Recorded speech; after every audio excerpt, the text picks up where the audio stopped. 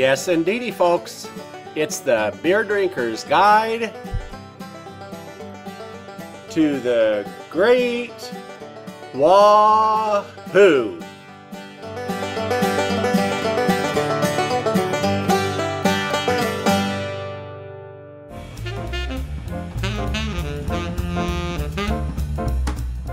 Modern Mac, the man who knows how to juggle it all, all the time,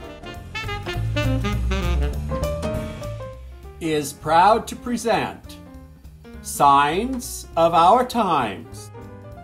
Proof positive that it's all going to heck in a handbasket if this is all the better we can do. This week's sign of our times was sent to your friend Modern Mac by a friend from the internet. Modern Mac is so with it. This sign was so important that the person who put it up went and used duct tape around the entire thing to make sure it stayed in place. A finely crafted sign, it includes an excellent illustration of a missing bike. Please note, the illustration is drawn from memory and may not be to scale. One of the signs of any excellent sign is that it gives full disclosure. Like all excellent signs, this sign gives a complete description of what has happened. My bike was stolen from my front lawn last week. It's a one-speed bike with a skull flag and a lightning bolt on it. The lightning bolt and the flag may have been removed. This bike was brand new from the store. Like all excellent signs, this sign lets you know what they want done. No reward. I don't even want this bike back.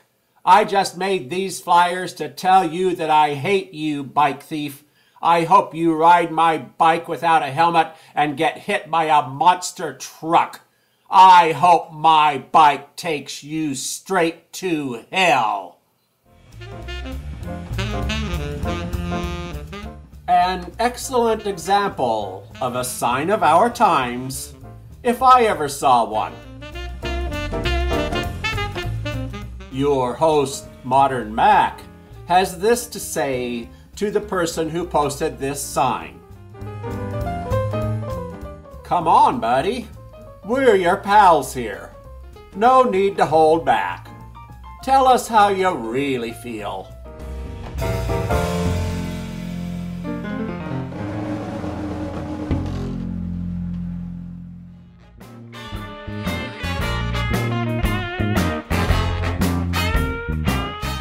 It is time to explore a road less traveled.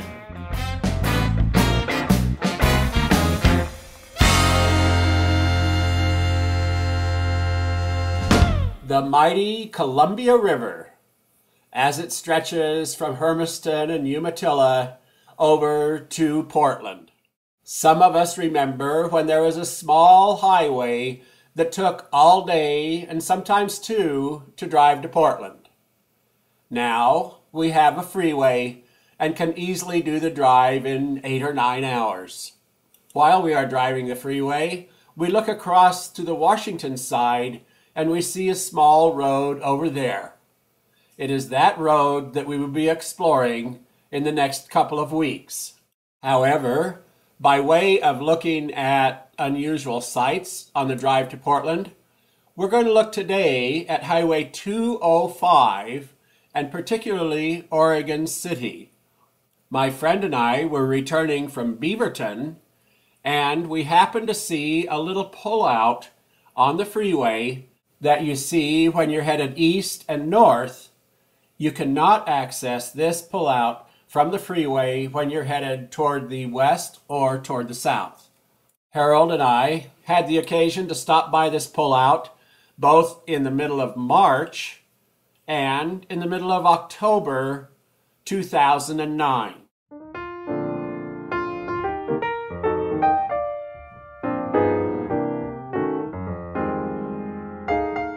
I'm sure as we look at these photographs, you'll be able to tell which season was which.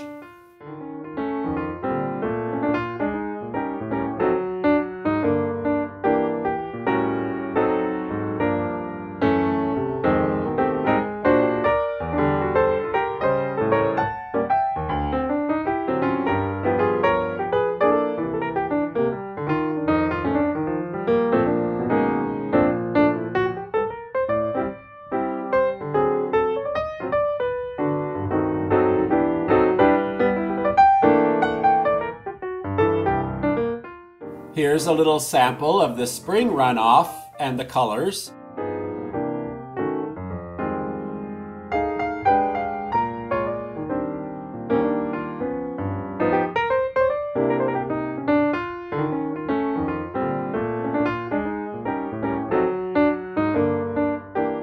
And here's a little sample of the fall runoff and the colors.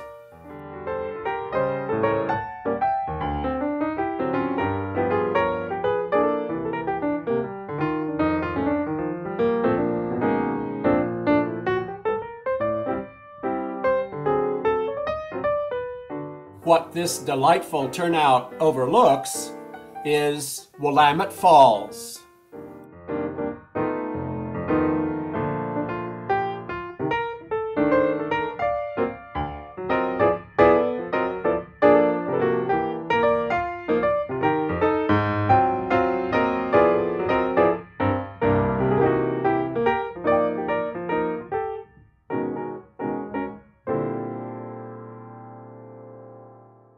Willamette Falls is 26 miles above the mouth of the Willamette River at the Columbia River, and the west bank, where Oregon City is now, had been used as a fishing village by the natives of this area for many, many years before recorded history began.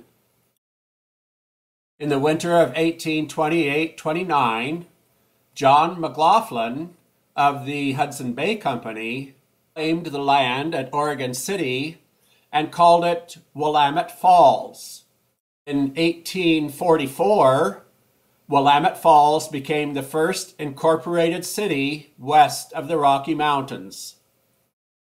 The city served as the territorial capital of Oregon from 1843 to 1852, and it has been the continuous county seat of Clackamas County since those times.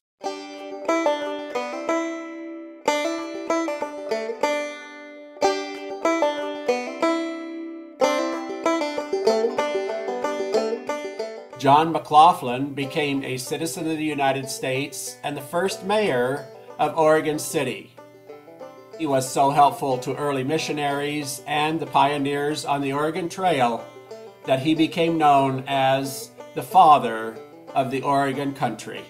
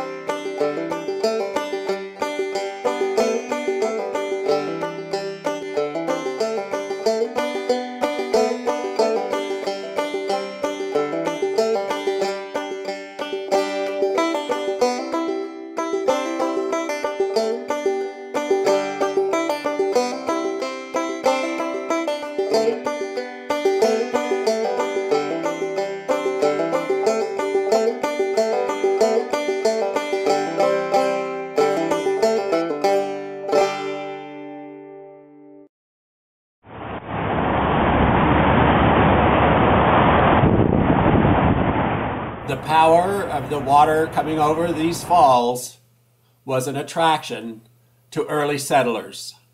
The water falling over the falls was used to power a lumber mill in 1842, a flour mill in 1844, a woolen mill in 1864, and the first paper factory in the Pacific Northwest in 1867. In 1889, water was run through turbines and the power was shipped to Portland. It was the first commercial long distance delivery of power in the United States. Needless to say, as soon as people started settling the Willamette Valley, these falls became a bothersome barrier to transportation. In 1873, locks were hewn out of the rock so that ships and barges could make it around this cataract. The locks have a total lift of 50.2 feet, a little over 50 feet.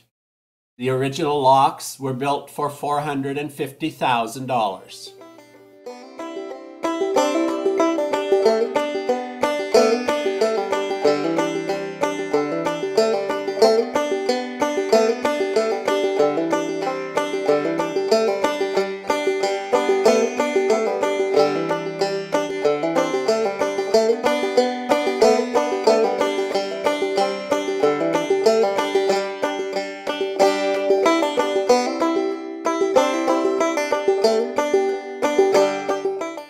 Stopping by the Willamette Falls Overlook across from Oregon City. What a great way to start a drive heading back to Boise.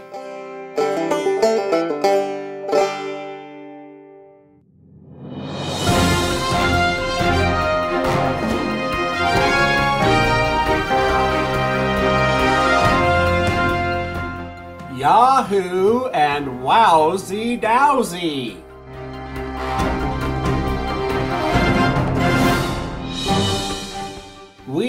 Have a big celebration coming up, folks. It is the biggest. It is the humongousest. It is the gargantuanousest. It is the wowsy dowsy who would a thunkinest. Make sure and be aware that it's coming along. Be to the point and be a regular party of activity. Don't forget to be watching for it. Have your eyes wide open.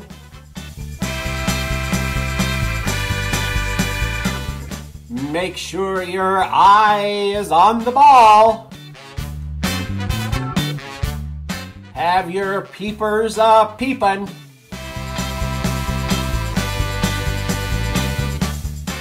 And have your specs a speculating.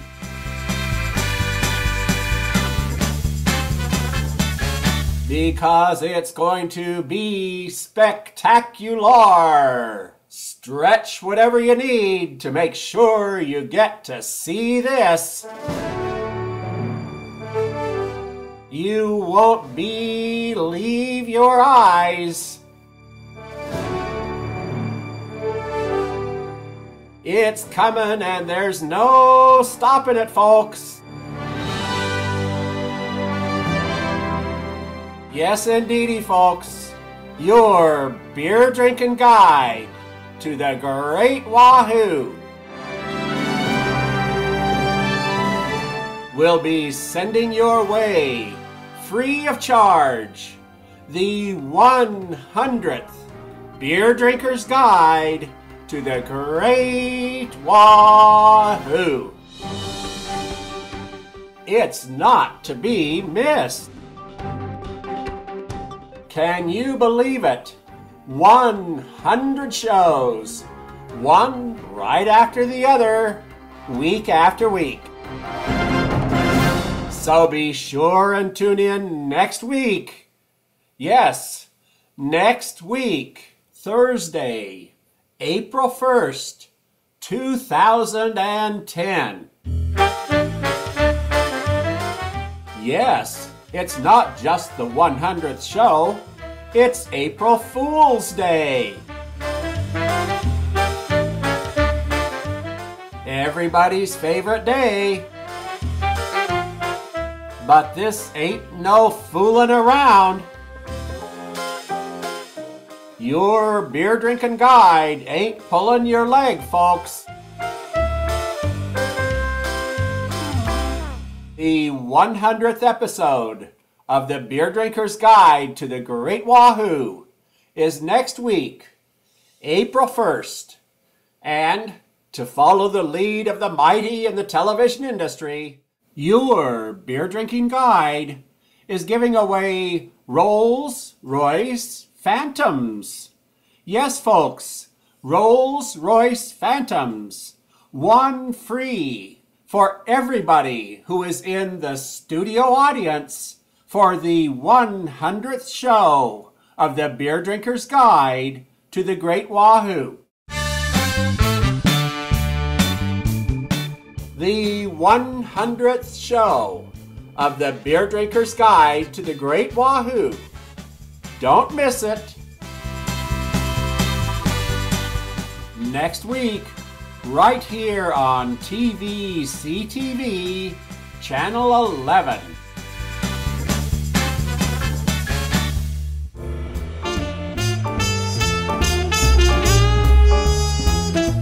And now, another exciting adventure checking out an SOB.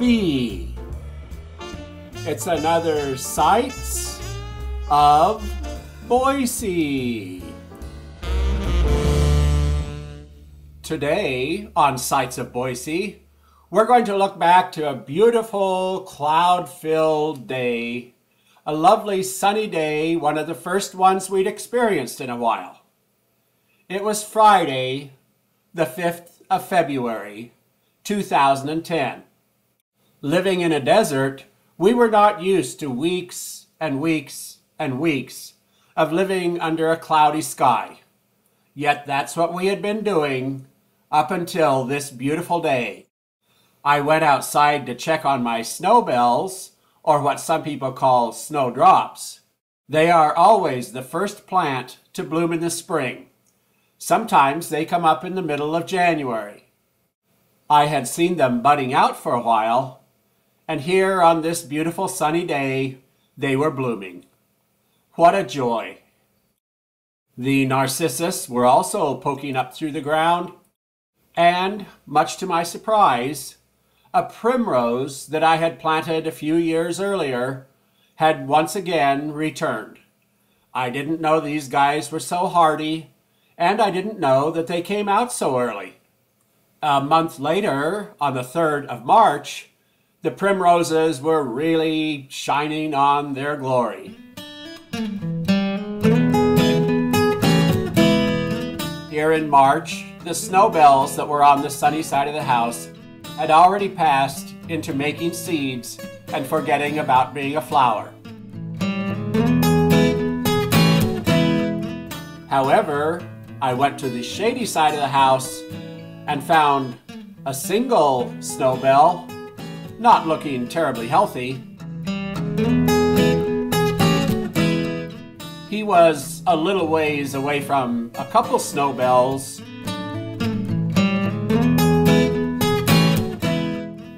And those snowbells were in front of the whole forest of snowbells that love this shady side of the house. They always bloom about a month after the snowbells that are on the sunny side of the house. They bloom about the time I see these guys blooming out by the garage. Now you know spring has arrived when you see the daffodils.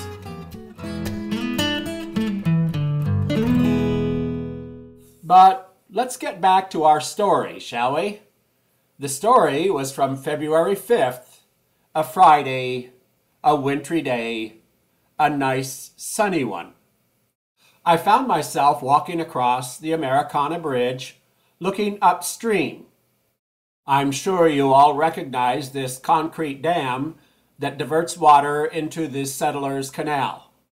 I couldn't help but stop and enjoy the clouds in the sky and the water percolating over the dam.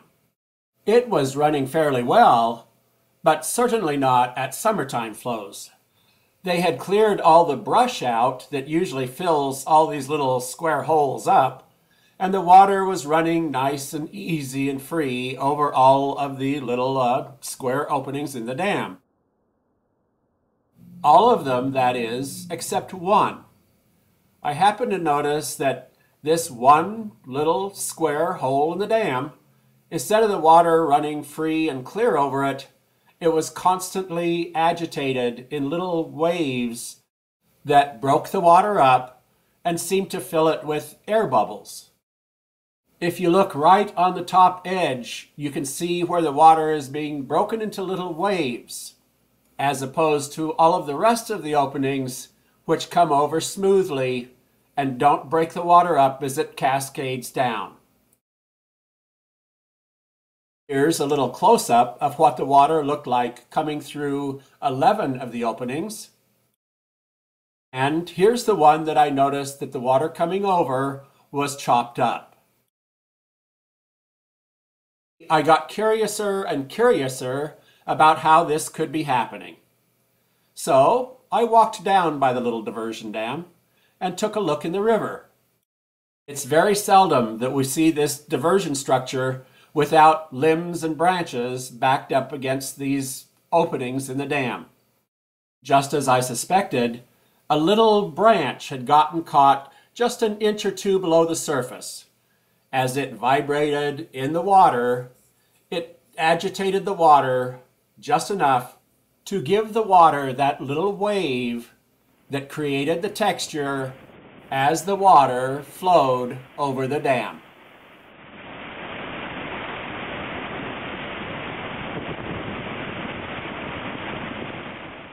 The water without the little stick vibrating.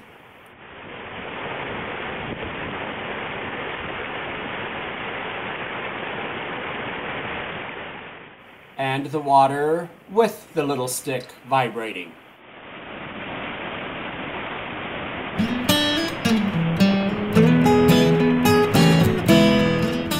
Oh, beautiful sunny days in February.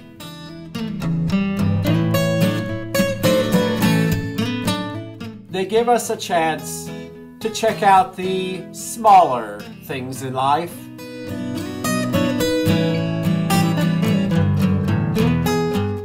And, my friends, they give beer drinking guides something to fill up a half an hour worth of television with.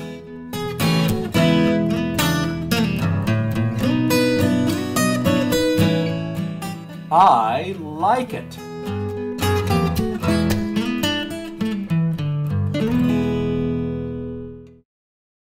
It was a beautiful spring day out on the farm.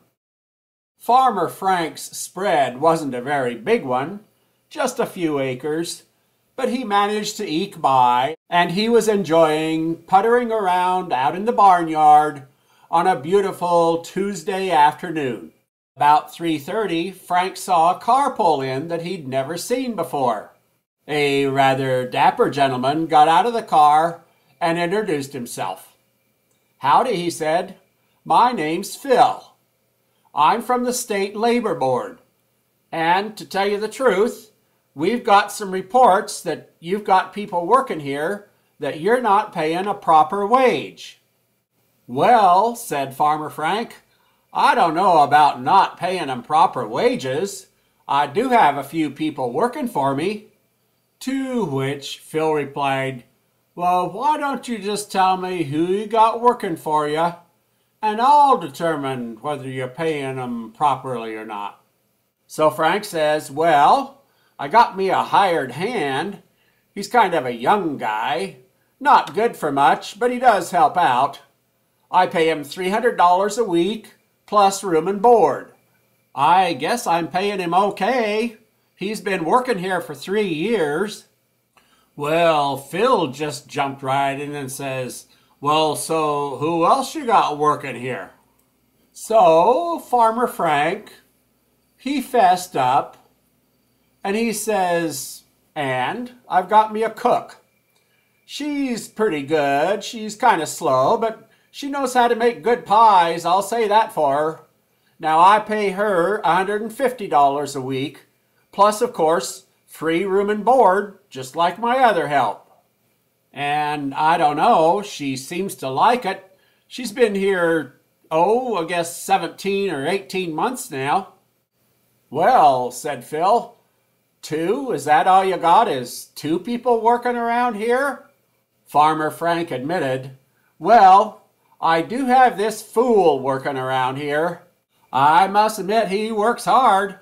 He works about 18 hours every day, and he does about 90% of all the work around here. Oh, really? said Phil. And what do you pay him? Well, said Farmer Frank, I must admit he he makes about $10 a week and he pays his own room and board, and I do buy him a bottle of bourbon every Saturday night. And, if the truth be told, he gets a little friendly with my wife every long once in a while. Aha, said Phil. Ten dollars a week? That's the guy I want to talk to. I want to talk to this fool that you're talking about.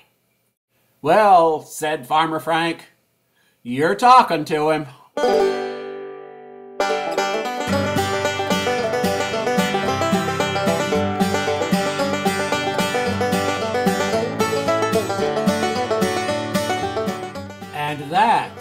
This week's Beer Drinker's Guide to the Great Wahoo.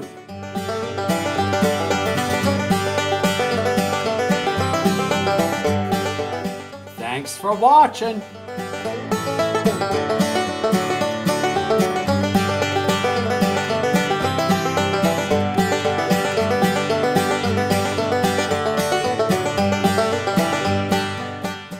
To see you for next week's 100th show.